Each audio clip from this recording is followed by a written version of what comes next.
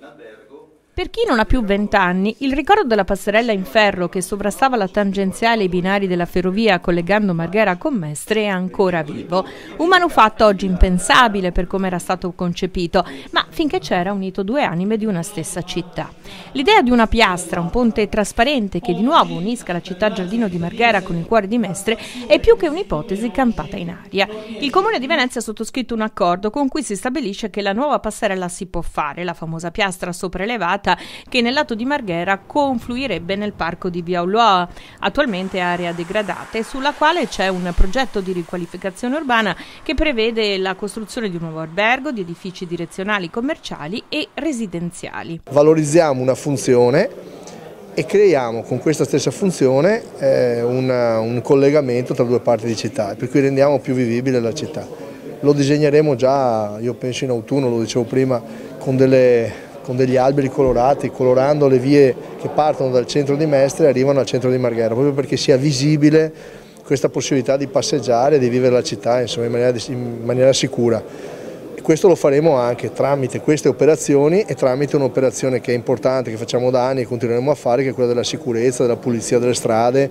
attraverso le nostre forze dell'ordine. Abbiamo sottoscritto e concluso l'iter di sottoscrizione dell'accordo di programma che vede la stazione di Venezia Mestre in un progetto di riqualificazione, di trasformazione da un punto di vista di mobilità in un hub della mobilità, di integrazione delle diverse modalità di trasporto, gomma, ferro, eh, tram e soprattutto di ricucitura storica di quella frattura storica della città. Come si arriverà al progetto esecutivo?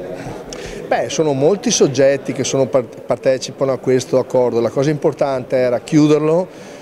sulle parti strutturali e funzionali, cioè Salini consente, l'area di Salini che è quella di via Uloa per capirci vicino alla Cita, un'area, lo dico per chi non conosce Marghera, totalmente degradata e abituata a vedere situazioni di ogni genere viene restituita con costi privati alla città, è bellissima insomma. Però Salini accetta di far atterrare il, diciamo, la piastra o il, o il percorso che verrà poi studiato e progettato da Ferrovie e se non fosse Ferrovie da, da qualcuno che sarà un privato che il comune metterà, metterà in gara in cerca, speriamo sia Ferrovie. E davanti altri tanti soggetti, ci sarà chi parte prima, chi parte dopo, chi compra, chi vende, è tutto pubblico comunque, però non c'è un unico soggetto, sono tanti soggetti che svilupperanno le aree. Sicuramente